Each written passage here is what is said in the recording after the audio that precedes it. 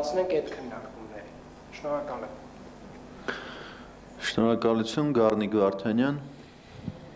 Ողջույն պարոն Ավինյան, ողջունում եմ ձեր գալուստը Երևանի քաղաքապետարան եւ մի հակերճ հարց կտամ ձեզ, ինչ կարծիք ունեք քաղաքային իշխանությունների կատարած աշխատանքի մասին եւ ինչ կարելի անել այն ավելի արդյունավետ դարձնելու համար։ Ճիշտ է, ելույթում մի փոքր անդրադարձակ դրան, բայց կուզենայի ավելի մանրամասնեք։ Ես ընդհանուր առմամբ ասացի, որ դրական կարծիք ունեմ եւ նամանավանդ 2022 թվականից սկսած կարելի ասել են ընթացքը որ կար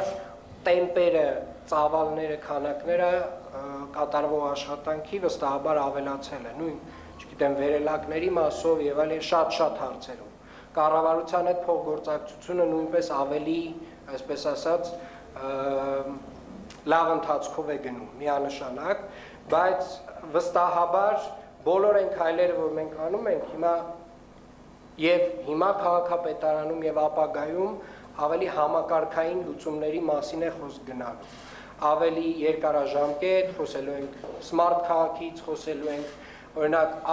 աղբի ոչ միայն հավաքագրումից այլ նաեւ վերամշակումից որովհետեւ ենթադրում եմ 2014 թվականից սկսած այդ խոսակցությունները հա կան հա անընդհատ տենց խոսացել ենք տենց իրուն ծրագրերը գրել ենք ու դրել ենք դարակներում կամ տենց ինչ որ բաներ արել ենք, բայց կիսատ է մնացել։ Բոլոր այն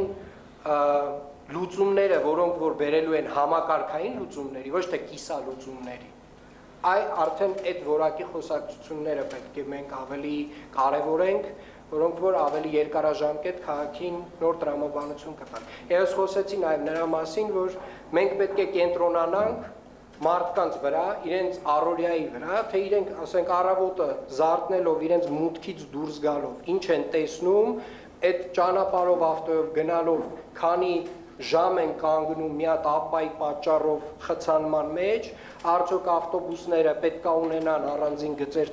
թե չպետքա ունենան, մի անգամից ասեն, որ պետքա ունենան, եւ այլն եւ այլն եւ այլն, այսինքն այս տեսակ խնդիրների մասին է խոսքը, այլ ոչ թե մենակ Ժորժ ջան, ավտոբուսը առանք, սաղլավա եւ վերջ։ Հազար ու մի հարց կա, պան քաղաքապետն էլ վստահաբար գիտի եւ ինքը ակտիվորեն զբաղվում այդ հարցերով, կլինի դա օրինակ նույն տրանսպորտային համակարգի միասնական